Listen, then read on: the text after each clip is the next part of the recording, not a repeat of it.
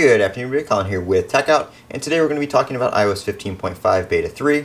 Um, there's not too much to talk about in this release. Um, obviously, we're coming up on the end of iOS 15 and its releases, so mainly it's just bug fixes and stuff in preparation for iOS 16. Um, so they're not going to be adding a ton of features or anything like that, obviously this close to WWDC. Um, and that's what we're getting here, just some bug fixes. Um, we did get an update for the DualSense controller um, and the adaptive trigger firmware, so that is now supported.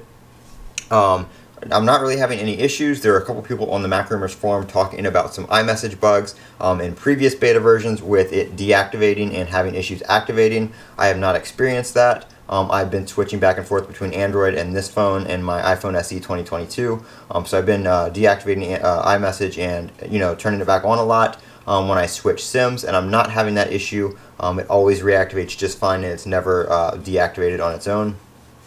Uh, so no issues there. Um, everything has been running great. Battery life has been excellent. Um, I actually went from like 1 in the morning on this phone once to uh, all the way into the next day um, with pretty good usage and did not have any uh, battery issues. Um, so battery life is excellent, especially on the 13 Pro Max. Um, this phone is just a beast for battery life. Um, doesn't matter whether you're on the stable or the beta.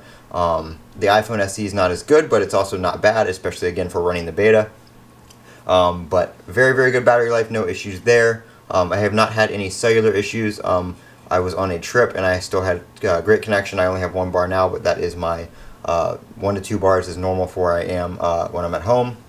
Um, so very good. Um, like I said, very light update because we are around the corner from uh, iOS 16 getting announced and the beta cycle starting for that. Um, so we're not going to uh, expect to see too much in 15.5 and future 15 releases um, that close to iOS 16.